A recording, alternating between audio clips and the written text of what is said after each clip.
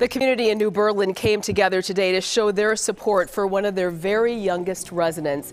Tanner Ziarek, who is just two years old, is fighting neuroblastoma. His family has been doing everything they can to help him fight this fast spreading cancer, and today a benefit was held for the family. Even if, you know, we don't raise any money for, for Tanner Day, just seeing all of our friends and family and seeing what everything, you know, what everyone's done for us has been really phenomenal. Just having the emotional support is really important for us. There is a GoFundMe page where you can donate to help Tanner and his family. A link can be found on our website, fox6now.com.